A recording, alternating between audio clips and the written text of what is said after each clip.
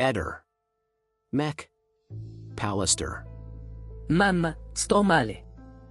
Poi la morte. Cosa è successo al piccolo Giovanni Luigi Sciascia di soli 12 anni di Sant'Antioco, in Sardegna?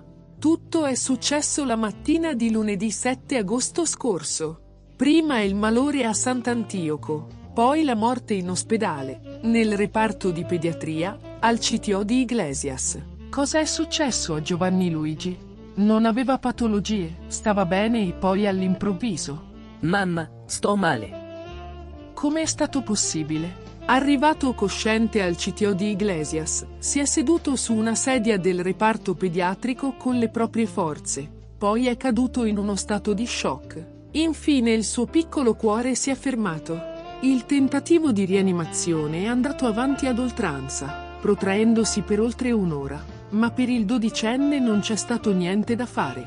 È stata disposta l'autopsia per stabilire i motivi che hanno portato all'arresto cardiocircolatorio. La famiglia è sotto shock, straziata dal dolore. Tutta la comunità di Sant'Antioco è rimasta attonita e senza parole per la tragedia. Dice lo zio del dodicenne un incubo. Giovanni era forte, non ha mai sofferto patologie e non riusciamo a spiegarci cosa possa essere accaduto. Ehi, non dimenticare di iscriverti a questo canale.